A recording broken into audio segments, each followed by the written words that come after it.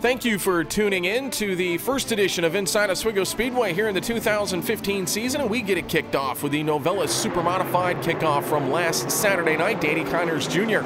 on the pole position. Double O Joe Gosek driving a John Nicotra machine in the opener as his regular ride not quite ready for the opener last Saturday, so Gosek slips behind the wheel of the third Nicotra racing machine for the Super Modified event this past weekend. Connors darted out into the early lead, but early on we had trouble down the front straightaway. The nine of Stephen Gioia lost the steering on that machine. Dave Cliff in the 06, nowhere to go. Both cars would be done for the night.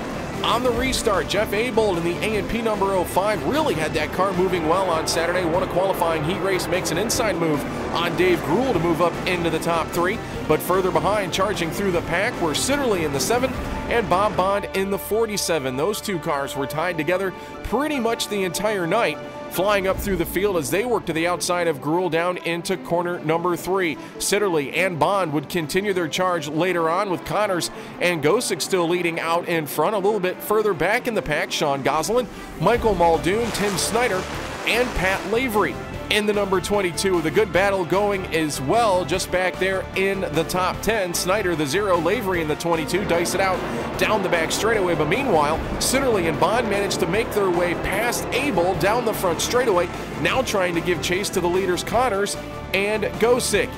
Later, lap 11, Gosek in that double zero machine swings to the high side, dips back down to the low side into corner number one, and he takes the race lead. So Joe Gosek, after starting on the outside of row number one, ran second early on, snags the lead from Connors into the first corner. Sitterly follows him through.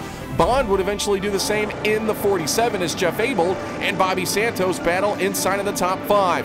Lap number 27, Sitterly finally works to the low side of Gosek into the first corner to take the race lead as they battle on down the back straightaway, looking to put a lap now on the 11, the rookie Eric Iosu. However, caution lights would come on as the 51 of Michael Muldoon spins right in front of the leaders. As a result of the caution coming out before the completed lap, Gosek would go back to the race lead, but on the restart, the double zero pushes a little bit high between three and four. Sitterly rolls around the outside to retake the lead. Bond would dive to the low side in corner number one to take the runner-up spot. Gosek would try to give chase back there into second with Santos riding in fourth as Gruhl in the 50 and Abold in the 05 do battle in the top five. But as the race wore on, nobody would have anything for the Rosselli Northern G&I Homes number seven of Otto Sitterly as he charges on to his fifth opening night victory at Oswego Speedway ahead of Bond in the 47, Gosek the double zero in third, Santos and Gruhl would round out the top five ahead of Jeff Abold, Keith Champagne in the Osetic Racing number 55, Sean Goslin, Dave Danzer battled up to a top 10 finish ahead of Pat Lavery in the double deuce. No, I'm not really sure. I think usually the track is pretty good opening night and not too slippery and stuff. And, uh, you know, we got real good race cars. And uh, so Joe ended up third, fourth. Um, that's real good. You know, that car's getting older, and I keep putting that car down, but just goes to show you, put a really good driver in, it's still pretty good. No, I would have been nice to be a little closer to Otto, but um, he uh, had us covered tonight. Nah, we're not sure. We'll probably um, run a few in the beginning and see how it goes. That's a pretty good car. Otto's uh, refined that car for years, and you know, it's a it's an older car, but it's a real good race car. So um, I want to thank him and the whole crew.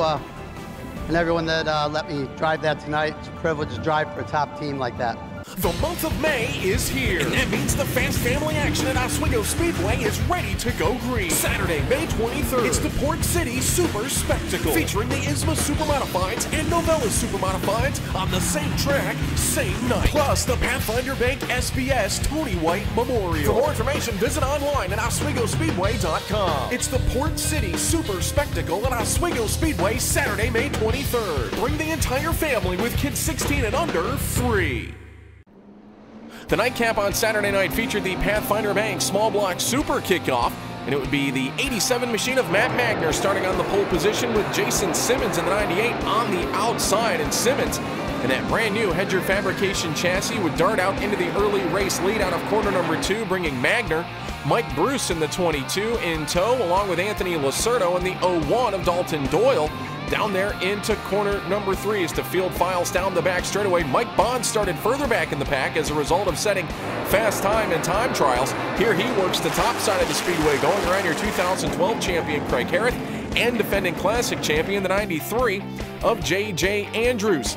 But up front, it was Mike Bruce in the 22 trying to move to the high side. He pushed a little bit too high, coming out of corner number four, and that left the low lane open for Doyle in the 01 to move to the low side into the first corner, trying to bring the 18 of Andrew Schartner and the 50 of Dave Cliff along with him out of corner number two and down the back straightaway. Doyle now up into that third spot in that 01 machine as they work down the back stretch and into corner number three. Schartner trying to work up on the high side out of that fourth corner, but trouble would strike on the front stretch. Magner, who had a great run going in that runner-up position, spins around down the front straightaway. That would bring the caution lights out and move the 01 of Doyle up into the runner-up position.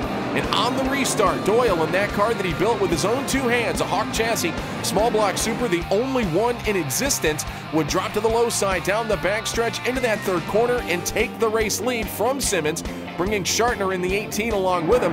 As Simmons moves high, the 22 of Mike Bruce, the 50 of Cliff, and the 13 of Russ Brown would eventually also make their way by on the inside of the speedway. But out in front, once Doyle got the lead, he never looked back. Schartner tried to chase him down on more than one occasion, but the checkered flag in the air, the opening night win goes to the 0-1 of Dalton Doyle. Schartner came home in second. Cliff with a podium finish in his first run driving the Barbeau Racing number 50. Russ Brown in the fourth spot. Mike Bruce rounding out the top five ahead of J.J. Andrews, Jason Simmons, and Alex Hogue as Dalton Doyle pulls into Turning Stone Resort Casino victory lane for his third career Pathfinder Bank Small Block Super victory.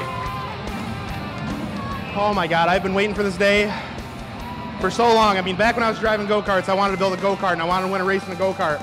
Started racing here, I wanted to win a feature. I won a feature. Built my own small block last year and I just won a feature at Oswego Speedway with a car I built with my two hands. I'm ecstatic. This is my car. I drove, I picked the tubing for this thing up. I polished every piece of tubing, I notched every piece of tubing, I cut every piece of tubing, bent it, welded every square inch of it, built the body, everything. It got too tight. We just got too tight. Um, it was weird. Normally the car's pretty balanced.